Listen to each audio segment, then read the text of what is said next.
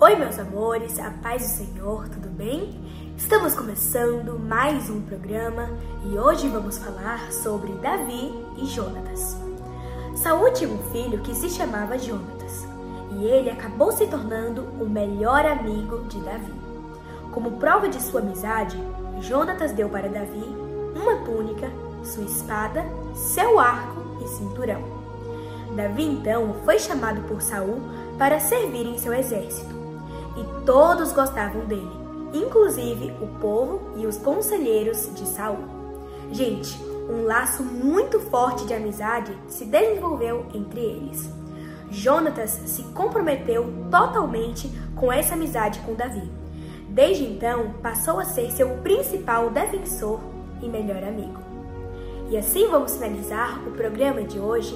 Espero que vocês tenham gostado. Um grande beijo, Deus abençoe. Deixe aqui nos comentários o que você achou, o seu like e o seu compartilhamento, que é muito importante. Uma boa noite e um excelente final de semana para todos vocês. Fiquem com Deus e tchau, tchau, gente!